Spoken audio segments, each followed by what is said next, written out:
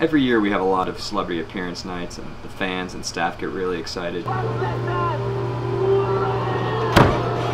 Coyote's especially excited about Cool Runnings Night this year.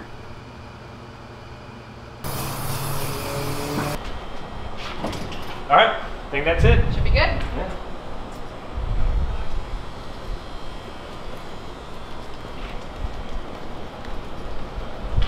Really taking it too far this year.